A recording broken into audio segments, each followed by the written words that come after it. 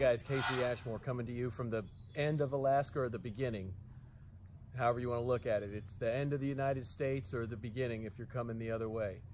And I just wanted to to touch base again about what I said earlier about being extraordinary.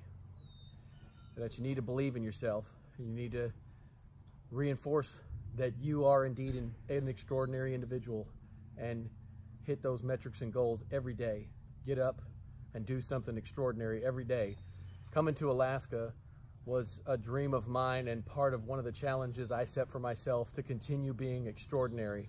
I don't know exactly what motivates you, but when you get up in the morning, first thing you need to do is reinforce the things about you that you know are extraordinary and go out and be extraordinary.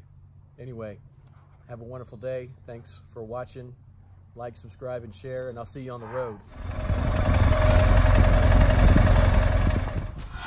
Hey guys, KC Ashmore coming to you from where the United States begins, near Seward, Alaska, or depending on which way you're coming, where it ends.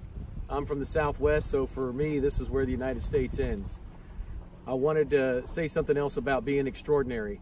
Being extraordinary is something you need to reinforce to yourself that you are every day and you need to set more extraordinary goals for yourself every day so you stay motivated, you get up, you keep going, you get up, you get after it, you hustle, you grind so you can do extraordinary things. You've got to believe in yourself. That is paramount. Give yourself permission to believe in yourself. I love all you guys. Thanks for watching. See you on the road.